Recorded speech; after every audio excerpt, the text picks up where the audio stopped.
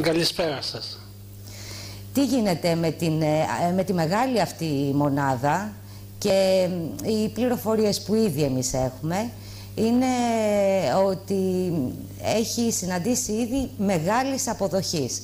Πριν ακόμη ξεκινήσει τη λειτουργία, είχαν αρχίσει να κλείνονται τα πρώτα ραντεβού από ζευγάρια που ευελπιστούν, προσβλέπουν στη δική σας βοήθεια και στη βοήθεια όλης της ε, ομάδας, της οποίας είστε επικεφαλής. Ναι, ήδη βλέπουμε, έχουμε ξεκινήσει να ενημερώνουμε τον κόσμο, να βλέπουμε ζευγάρια προκειμένου να τα ε, βοηθήσουμε στον, ε, στην προσπάθειά τους να αποκτήσουν το αυτονόητο για άλλους, δηλαδή ένα παιδάκι, ε, προσπαθώντας να τους εξυπηρετήσουμε όσον αφορά τις εξετάσεις που πρέπει να κάνουν και βέβαια να τους ενημερώσουμε για τις διαδικασίες που μπορούμε πλέον να εφαρμόζουμε ε, στα πλαίσια της υποβοηθούμενης αναπαραγωγής, διαδικασίες που ήδη εφαρμόζουμε στην Αθήνα τώρα και πολλά χρόνια. Ε, θέλουμε να αποκεντρώσουμε τις υπηρεσίες και γι' αυτό ε, έχουμε ανοίξει, ε, ανοίξαμε τη μονάδα εδώ στην, ε, στη Λάρισα ε, με σκοπό την ε, εξυπηρέτηση όλης της περιοχής και της ευρύτερης περιοχής προκειμένου να μην φεύγουν τα ζευγάρια για Αθήνα ή για Θεσσαλονίκη αλλά να μπορούμε να τους εξυπηρετούμε εδώ στον τόπο τους. Μάλιστα. Είναι άλλωστε ε, γνωστό και το έργο σας, τα αποτελέσματα που φέρνετε μέσα από πρωτοποριακές πολλές φορές ε, μεθόδους. Επομένως, τι σας λένε για το γεγονός ότι πια μια τέτοια κλινική που περιλαμβάνει τα πάντα για να τους ε, βοηθήσει, βρίσκεται κοντά τους. Ναι, θέλουμε από τη μία να προσφέρουμε τις υπηρεσίες που αρμόζει για κάθε ζευγάρι να εξατομικεύουμε τις ε, οποιασδήποτε υπηρεσίες στα προβλήματα του κάθε ζευγαριού και αυτό μπορούμε πλέον να το κάνουμε εδώ. Ε, από την άλλη όμως θέλουμε να ευαισθητοποιήσουμε και να ενημερώσουμε και τον πληθυσμό και γι' αυτό η Ελληνική Εταιρεία Αναπαραγωγικής Ιατρικής ε, που εγώ είμαι Γενικός Γραμματέας, ίδρυσε ένα τμήμα, τμήμα της Θεσσαλίας και ξεκινάμε από μέσα Μαΐου να ενημερώνουμε και την τοπική κοινωνία, ξεκινάμε από Καρδίτσα, ε, σε συλλόγους, σε κοινότητες, σε δήμους, ε, με ενημερωτικές ημερίδες, προκειμένου να ενημερώσουμε πρώτον περί τι, τι σημαίνει υπογονιμότητα και βέβαια πώς κάποια γυναίκα ή κάποιο ζευγάρι ή κάποιος άντρας ακόμα να προστατεύσει τη γονιμότητά του. Η ενημέρωση και η ευαισθητοποίηση περί θεμάτων γονιμότητας πιστεύω ότι πρέπει να αποτελεί προτεραιότητα για όλους. Εσείς γιατρές διαπιστώνετε ότι υπάρχει κενό στην ενημέρωση σήμερα ως ναι. προς αυτό το κρίσιμο πολλές φορές θέμα γιατί ε, εσείς θα μας πείτε αλλά ενδεχομένως να υπάρχουν ζευγάρια που να προσπαθούν αλλά να μην γνωρίζουν ποια είναι τα εμπόδια. Κατά συνέπεια. Ναι, υπάρχει κενό πράγματα, υπάρχει έλλειψη ενημέρωσης, κυρίως όμως υπάρχει ε, οι γυναίκες, οι νέοι και οι νέες ασχολούνται πλέον περισσότερο με άλλα θέματα της ζωής τους, με την καριέρα τους, με το επάγγελμά τους, αφήνοντας προς τα πίσω ε, το θέμα της γονιμότητας. Πρέπει όμως να γνωρίζουν ότι η φύση ε, είναι αμήλικτη όσον αφορά τα όρια που θέτει για τη γονιμότητα. Πρέπει ε, η νέα η κοπέλα να ξέρει ότι εφόσον θα διαθέσει πολλά χρόνια στις σπουδές και στην καριέρα της πώς να προστατέψει τη γονιμότητά της υπάρχει κατάψυξη οαρίων για παράδειγμα και βέβαια από μελέτες που έχουν γίνει και έχουν ανακοινωθεί πρόσφατα δείχνουν ότι υπερεκτιμούνται τα όρια κατά τουλάχιστον 10 έτη. Δηλαδή μια γυναίκα η οποία ε, είναι στα 40 της, στα 45 της, ε, νομίζει, αισθάνεται, είναι νέα, βεβαίως είναι νέα, αλλά από αναπαραγωγικής άποψης δεν είναι νέα και αυτό είναι λίγο δύσκολο να το αντιληφθεί και πρέπει να ευαισθητοποιήσουμε τον κόσμο περί αυτού. Ε, εφόσον θέλουν να αποκτήσουν παιδί, να το αποκτήσουν όταν πρέπει, νωρίτερα, εφόσον δεν θέλουν, τουλάχιστον να διατηρήσουν, να προστατεύσουν τη γονιμότητά τους. Εκεί θα επικεντρωθεί δηλαδή η, ο, ο κύκλος της ενημέρωσης που λέτε θα ξεκινήσετε σε όλες τις περιοχές της Θεσσαλίας.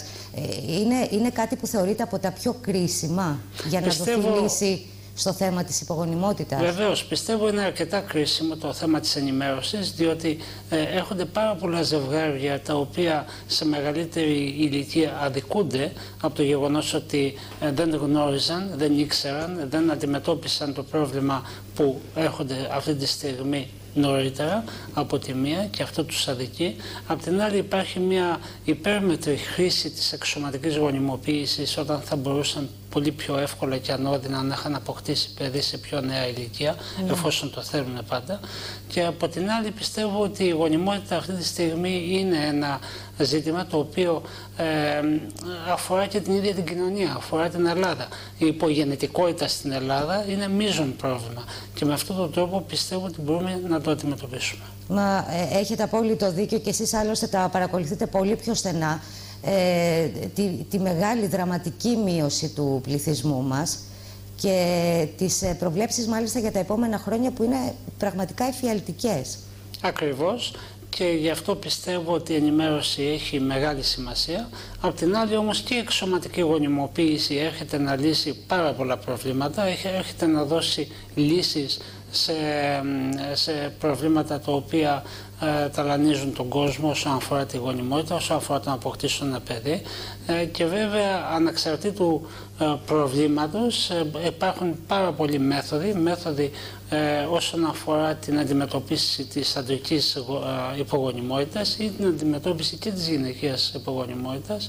Εάν όμως απ' την άλλη μια νέα κοπέλα, μια νέα γυναίκα ε, μέχρι τα 35 της έχει φροντίσει να διατηρήσει τα οάρια στην κατάψυξη, ε, σε κάποια στιγμή στη ζωή της όταν αποφασίσει να τα χρησιμοποιήσει θα μπορέσει με πολύ μεγαλύτερη ευκολία να αποκτήσει το παιδάκι της. Μέχρι την ηλικία των 35 ετών μας λέτε και από τι ηλικία μπορεί μια γυναίκα να σκεφτεί να καταψύξει οάρια. Όλες οι γυναίκες που ε, μετά τα 30 τους, από 30 έως 35, σκέφτονται κάποια στιγμή στη ζωή τους να αποκτήσουν ένα παιδάκι ή θέλουν να προστατέψουν τη γονιμότητά τους, θα πρέπει να φροντίσουν να διατηρήσουν τα οάρια στην κατάψυξη. Υπάρχει η μέθοδος, πολύ πετυχημένη, υπάρχει η μέθοδος της ιαλοποίησης που αυτή τη στιγμή μπορούμε εμείς με μεγάλο ποσοστό ε, ε, επιτυχίας πλέον να διατηρούμε οάρια τα οποία αργότερα θα επιβιώσουν, θα γονιμοποιηθούν και θα προσφέρουν τη δυνατότητα τεκνοποίησης.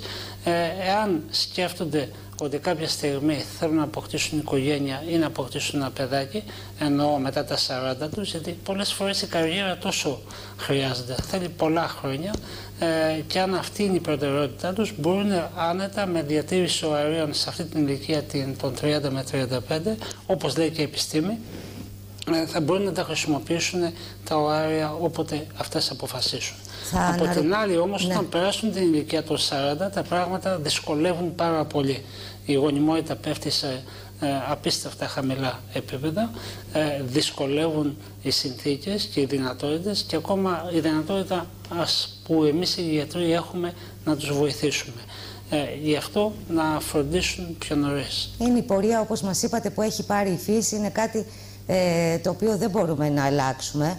Γι' αυτό και καλό είναι όσοι μας παρακολουθούν να σας ακούσουν ε, με προσοχή. Τώρα μπορεί κάποιος να αναρωτηθεί, μια γυναίκα μπορεί να αναρωτηθεί που μας παρακολουθεί, αν αυτή η διαδικασία ε, της ε, κατάψυξης δηλαδή οαρίων, να πάρετε τα οάρια, είναι επώδυνη. Όχι, ε, δεν χρειάζεται, είναι Ναι. Δεν είναι, είναι μια απλή διαδικασία ή κάποιος πρέπει να, μπει, να βάλει το μυαλό του έτσι ε, σε ένα μεγάλο χειρουργείο, θα χρειαστεί μετά ανάρρωση, χρειάζεται κάτι; Όχι, είναι μια απλή διαδικασία.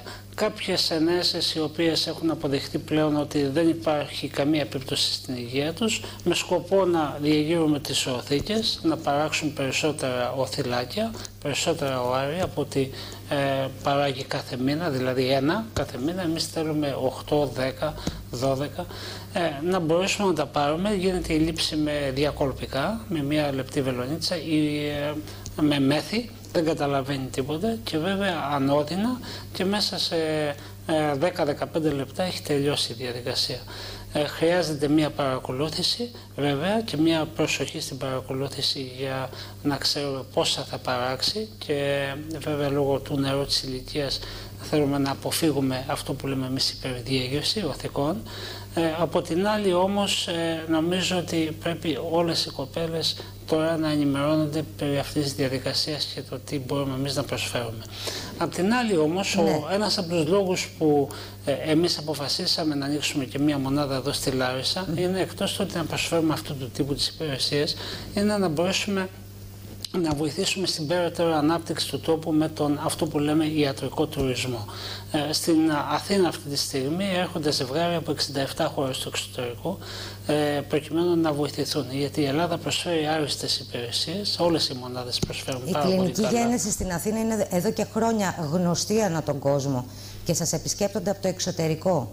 Ναι, μπορούμε να εφαρμόζουμε μεθόδους που ε, ακόμα έξω ε, δεν τις εφαρμόζουν όπως την αναζωγόνηση των οθικών σε γυναίκες που δεν παράγουν οθυλάκια ε, με μεθόδους όπως η, ε, η χρήση αιμοπεταλίων.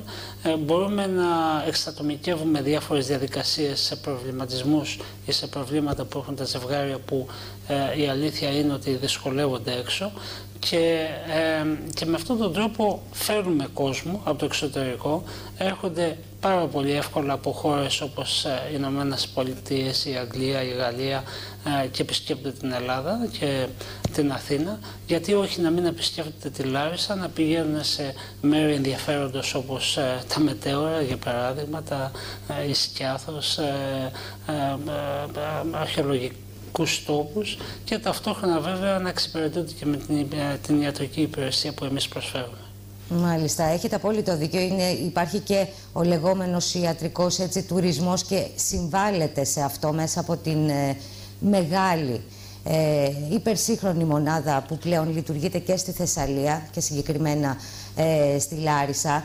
Τώρα θα ήθελα λίγο να επιστρέψω για τις πρώτες μέρες λειτουργίας της ε, μονάδας υποβοηθούμενης αναπαραγωγής στη Λάρισα και να σας ρωτήσω από τα ζευγάρια που ήδη βλέπετε ε, αν τα, τα προβλήματα αντιμετωπίζουν και μικρότερες ηλικίες ή είναι κυρίως ζευγάρια της ηλικίας άνω των 40 όπως μας είπατε; Ναι, η μεγάλη πλειοψηφία των ζευγαριών είναι με γυναίκες και άντρες κυρίως ε, πάνω από την ηλικία των 40, κάτι που δεν θα έπρεπε να συμβαίνει, αλλά πιστεύω ότι θα το αλλάξουμε αυτό σύντομα. Ε, από την άλλη, η μονάδα αυτή τη στιγμή ε, μπαίνει στα τελευταία της στάδια πριν ακόμα την λειτουργία της, ακόμα δεν λειτουργεί επίσημα. Περιμένουμε να ολοκληρώσουμε τα διαδικαστικά. Ε, αυτή τη στιγμή βλέπουμε ζευγάρια, Έχετε συγκεντρώνουμε επαφές, ζευγάρια. Ναι, συναντήσεις με τα ζευγάρια, Ακριβώς, τα ενδιαφερόμενα. Ναι. Και ενημερώνουμε ε, περί το, των διαδικασιών της ε, υποβοηθούμενης αναπαραγωγής ή τι άλλο μπορούν να κάνουν πριν φτάσουν στην υποβοηθούμενη αναπαραγωγή. Γιατί και ο ρόλος του γυναικολόγου δεν είναι απλά να κάθε ζευγάρι που, το, που επισκέπτεται να μπαίνει σε διαδικασία υποβοηθούμενης αναπαραγωγής είναι να ενημερώνεται, να προσπαθούμε με το πιο φυσικό τρόπο να κάνουμε τις απαραίτητες εξετάσεις, την απαραίτητη διερεύνηση, μήπως και καταφέρουν πολύ πιο εύκολα και απλά να αποκτήσουν το παιδάκι τους, αν όχι η επιστήμη είναι εδώ για να βοηθήσει με μεθόδους εξωματικής γονιμοποίησης. Αυτό, αυτό είναι πάρα πολύ σημαντικό που λέτε ε, ότι ε, ε, τους εξετάζετε, συνομιλείτε μαζί τους, μπορεί να διαπιστωθεί ένα πρόβλημα που δεν το γνωρίζουν, να το αγνοούν και να προχωρήσουν με φυσική διαδικασία. Δηλαδή, στο τέλος, να μην οδηγηθούν σε εξωσωματική γονιμοποίηση. Αυτός είναι ο σκοπός μας, να προσπαθήσουμε ε, να μην τους οδηγούμε κατευθείαν στην εξωσωματική, παρά μόνο όταν και πρέπει και χρειάζεται να ακολουθήσουν αυτή τη διαδικασία. Μάλιστα, πάντως αναζητώντας ε, κύριε Πάντο για σας ε, στοιχεία, ε, έχω να πω ότι είναι άπειρα τα δημοσιεύματα, ε, κυρίως ε, δημοσιεύματα όχι μόνο από την Ελλάδα, από ολόκληρο τον κόσμο και από ξένα μέσα ενημέρωσης, που εκφράζονται με τα καλύτερα λόγια για σας και δεν έχουν πώς να δηλώσουν τις ευχαριστίες, γιατί πραγματικά υπάρχουν ζευγάρια που τους έχετε αλλάξει τη ζωή και αυτό δεν το λέω καθόλου τυπικά.